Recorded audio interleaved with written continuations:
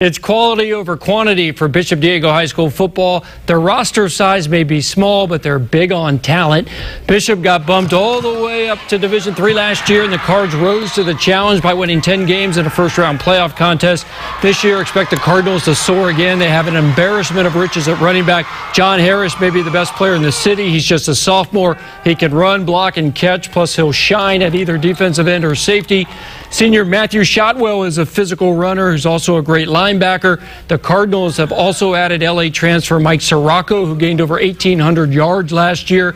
Quarterback Spencer Stosan should have a strong season. He was terrific over the summer in seven on seven passing competition. And the Cards also have the fastest player in the city and receiver, defensive back, and returner A.V. Bennett.